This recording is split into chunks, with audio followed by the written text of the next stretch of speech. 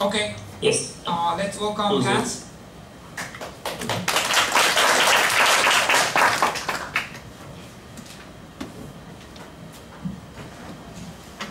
Is my slide visible? Yes, yes. Can you see my slide? Yes.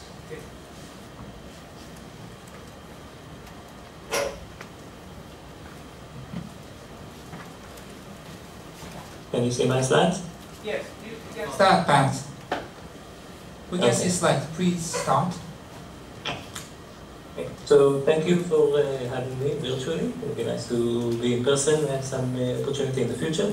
I want to talk about the multipath propagation of FRBs as a tool for uncovering the properties of extragalactic plasma. This is work done with uh, Pawan Kumar and Ramesh Narayan.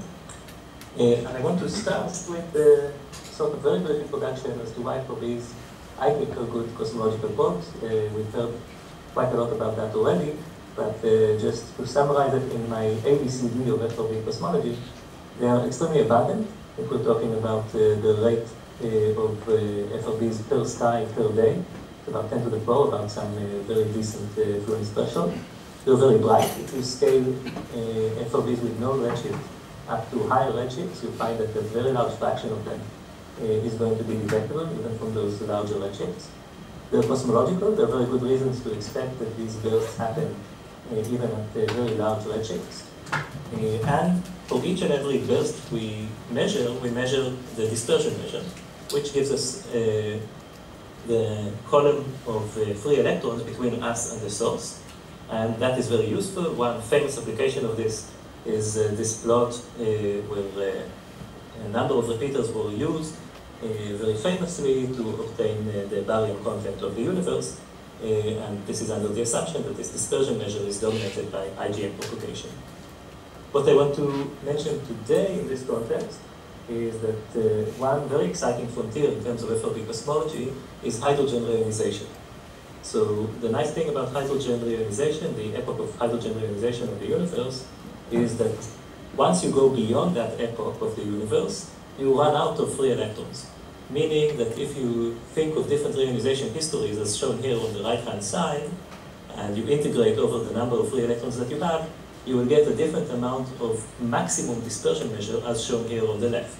So different reionization history correspond to different DM max, and therefore the fact that you have this plateauing of the M and the fact that the plateau itself is different between different histories means that by measuring this plateau, you can have access to precise information about the reionization history. And uh, in this work uh, that we did a couple of years ago now, we showed various ways in which uh, this information can be obtained uh, under different uh, conditions. I just want to very briefly em- emphasize some of the results of this work. So one thing is that uh, one can show that this DM max is highly correlated with the optical depth to Thomson scattering, for example, from the CMB, so from very large uh, redshift. And because of that, by measuring DM max precisely, and precisely here only means to the extent of 500 parsec per centimeter cube, you can already improve on the state-of-the-art constraints from the Planck experiment. So this is very remarkable. 500 parsec per centimeter cube is really not that much in order to compete with uh, such uh, an amazing experiment. Also, if you have even just a few tens of FRBs uh, with measured redshift in the range of uh, hydrogen reionization between redshift uh, 6 and 10, that's enough to constrain the history of hydrogen reionization very precisely to a level of a few percent. Even if you have FRBs with no redshift, once you detect enough of them, you can see here on the right-hand side, the distribution of number of detected bursts per dispersion measure is different for different reionization histories. Uh, so you can see here uh, in solid and in dotted lines different histories. And because of that, uh, we can tell the difference between those histories. Uh, once we detect enough bursts, you see these interesting features that appear large dispersion measure in terms of the distribution. It could be a plateau or even a sharp one. Next, I want to move to a topic that is actually very highly related to what Wei Penn was just talking about. And I completely agree that scintillation and plasma scattering is one of the frontiers for uh, at the moment. And uh, this is, if you want, a sort of second order effect to what I talked about uh, up until this point. I talked about the first order, which is just the uh, DM in itself, uh, assuming no uh, variability. But now we take into account the fact that uh, the medium, the plasma through which the radio waves are passing, uh, could be inhomogeneous, and uh, it could be turbulent, and therefore it could cause scattering and scintillation. So this was already introduced, so I will not spend too much time on this. The effects of spectral decoherence, shown here on the right, scatter broadening on the left. In principle, you can even induce temporal variability on the light curve, although this typically happens on timescales that are longer than what is seen in uh, FRBs. There is a fourth effect that I want to mention here today, which I think is very interesting. And this is the effect that uh, a scattering screen that the radio waves are passing through can affect the polarization. And uh, I want to argue that understanding this is uh, important if we want to disentangle the properties of the source from those of propagation. This will uh, allow us to learn better about both the source and the emission mechanism and about the intervening plasma between us and the FRB sources. The general result that you get out of this is that you can uh, cause two main effects, which can happen independently from each other. You can cause the radio waves to become partially depolarized under certain conditions, and you can cause a large fraction of the polarization, say if it was initially linearly polarized, to be converted to circular polarization. There are also unique dependencies of these effects coming from uh, depolarization by multipath propagation as a function of frequency and time.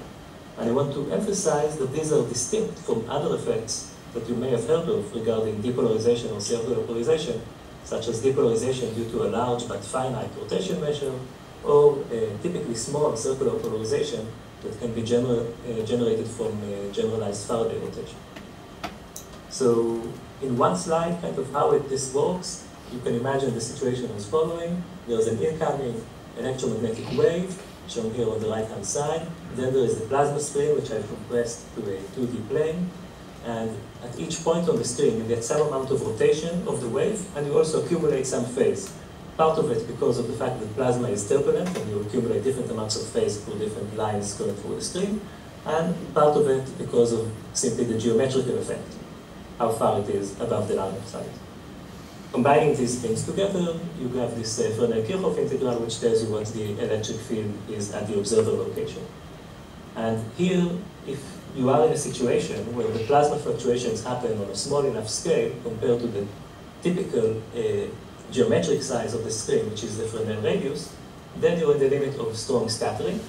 In this limit, the visible size of the screen is much greater than the Fresnel radius, and what you see effectively is contribution from places where this uh, exponent here uh, is uh, highly oscillating. So you see contribution from multiple bright spots on the screen. This means that to first order, we can uh, approximate the situation as a sort of multi-slit experiment. And the simplest version of this that maintains the essence is a two-slit experiment. So you can imagine this following very simple setup. You start with a linearly polarized wave coming from above, and then with each of the slits, you change its uh, rotation angle, its angle of the electric uh, field vector, and the phase. And then you combine things back at the observer, and you see what the polarization is that you get. So it's shown here in terms of Stokes parameter, and you see that generally you convert all the unity fraction of the polarization into a circular component in this way. One can also work out the effect on depolarization I don't have time to show this uh, today, so I will just show you directly the result. So this is this equation that you see here on the bottom right side. You see that it's relatively compact and uh, relatively easy to uh, understand analytically. These are also the numerical results shown for the linear polarization on the left, circular polarization on the right, uh, and uh, in this parameter space that has to do with the uh, temporal and spectral resolution of the detector. Just a couple of things to point out here. One is that uh, there's an interesting effect here where the uh, temporal variability, if it is induced by the source, or if it is induced by the screen, meaning the eddies in the screen are moving or the whole screen is moving relative to the line of sight, this affects the observed polarization differently. So actually, uh, this could be an interesting tool to uh, distinguish between those two options. And also I want to emphasize the fact that you can have a large fraction of circular polarization uh, be obtained due to this process even in situations here on the bottom right uh, side of these two plots where there is no depolarization. So these two effects are indeed coupled, like I mentioned before. If you want uh, another look at this, these are uh, typical parameters that give you typical ISM-like plasma screens. So two different examples here. And you see some of the different length scales in the problem and how they scale with frequency, and correspondingly the characteristic frequencies in the problem. So below this typical frequency you have strong scattering, where you can start having these strong effects. And you see that generally there is another frequency of interest, uh, which is where you can start seeing circular polarization induced by the screen. Uh, and all of these effects become more pronounced as you go to lower frequencies. left. Okay?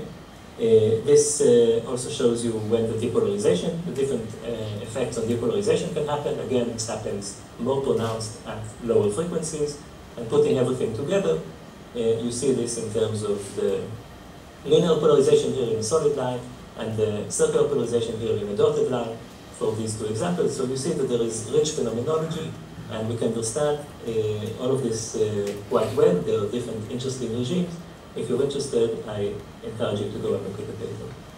One uh, paper this that uh, we did uh, recently was to this now famous burst 1905-20. This is a very interesting burst. It shows depolarization at a low frequency band of the slightly higher one.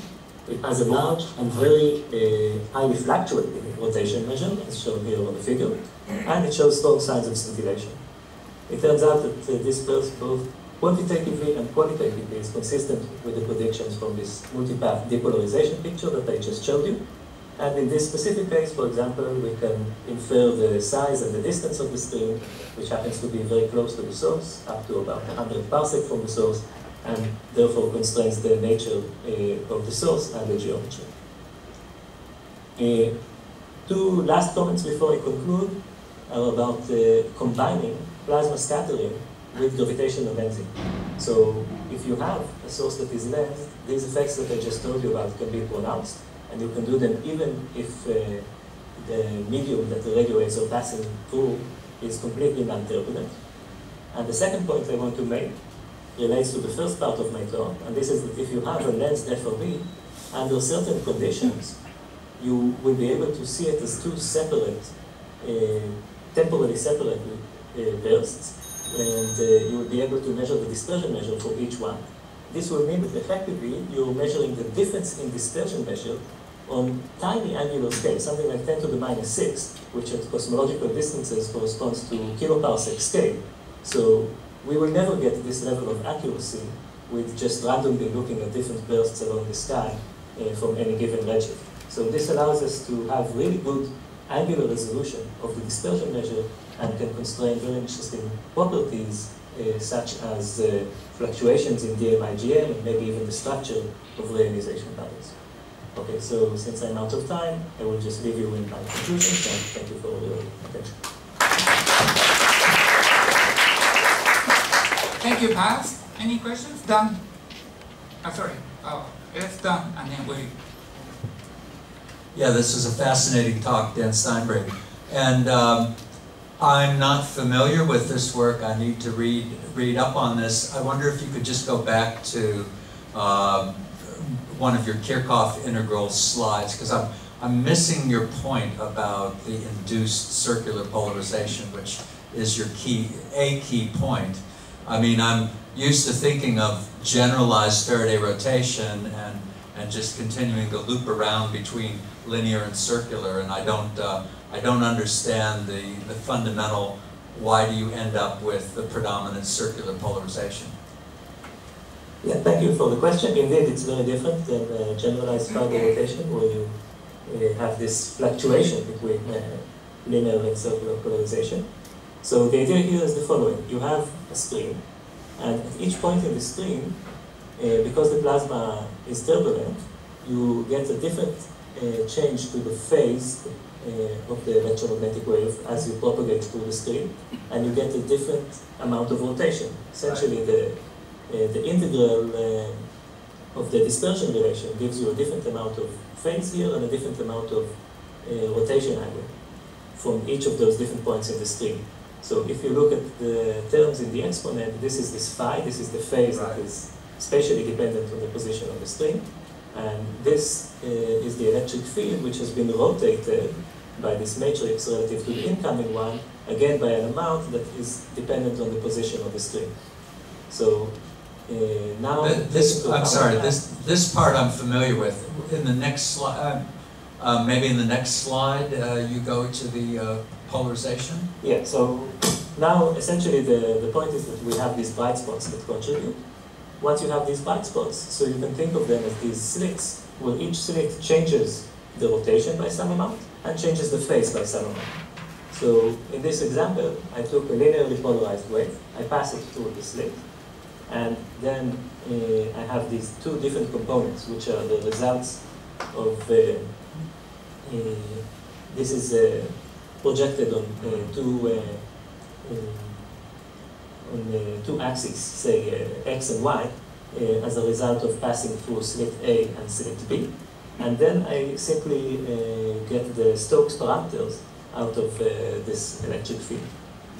And uh, you can see that the V component, which is uh, where the circular polarization is, uh, depends on the sign of the difference in phase between the two slits and sign of the difference in rotation between the two slits. And generally, these can be of order unity, these delta phi and delta chi. Once we're talking about uh, I mean, two slits that are uh, removed by a sufficient amount in the screen, uh, these can be, in principle, of order unity or much more. Uh, and uh, therefore, the sign will be of order unity, and uh, we get the v component that is of order with hyperplane. Okay, well, thank you for going over that. I still need to think about it and talk with other, talk with you and other people. Okay, Wally, you have a question? Yeah, so I guess we've looked at this, and uh, so has our late friend J.P. Macquart. I'm not quite sure how yours differs from his analysis that he did for his PhD thesis. But in our estimates, we find that the leading effect is a constant magnetic field because as we know that in our galaxy and in many systems, the B mean is bigger than the delta B, or at least is comparable. In which case, all that happens is that, the, as, Stan described, the dispersion delay is slightly different from left and right circularly polarized waves. So all you get is you get a shift of the left polarized dynamic spectrum and the right polarized dynamic spectrum by delta um, plasma, uh, delta, sorry, uh, what's it called? Uh, cyclotron frequency split. And if you correlate it like Lee et al. did, you get to measure the magnetic, mean magnetic field just by doing the left to right frequency shift correlation. And then the next leading effect, if you look at, if you estimate magnetic fields, what we think we know about them is a gradient. And a gradient is called a Faraday wedge. And Faraday wedge just causes your left and right polarizations to shift in angle or therefore in time. So if you do a time correlation of your left and right dynamic spectra, you will see a tiny shift which has been detected. So both of these effects are measurable and leading, and I think they're known to be leading. So it seems to me a relatively simple, uh, nature is relatively kind to us, that I think these depolarization effects seem to be relatively easy to understand and measure. So I think it's good. By the way, I think it's important, and I encourage people to do these things. People often don't look at the polarization data in left and right and do those correlations. And I think that I, I again, another another coherent effect that is very important. Thank you. Yes. Okay, I agree, by the way, that in many cases the um, uh, field, uh, the, uh, the non-fluctuating part of the magnetic field dominates. Uh, in fact, if you see this uh, new chi s that I have here, essentially this is what goes into it. The fact that you can show that the length scale associated with two paths in the screen having changed the rotation of the electric field vector by a significant amount between them is always larger than the length scale associated with the phase changing by a significant amount. So this scale that has to do with rotation of the electric field is, the scale is always greater than the diffraction scale. Now the critical issue is whether this scale is smaller or greater than the refractive scale. It's always greater than the diffractive scale, but there is a large range of parameter scales that is uh, still smaller than the refractive scale, and that's where all these things happen. But even when this does not happen, then uh, other effects are still important, and uh, where you just mentioned uh, okay, thank you, Paz. Let's thank Paz again.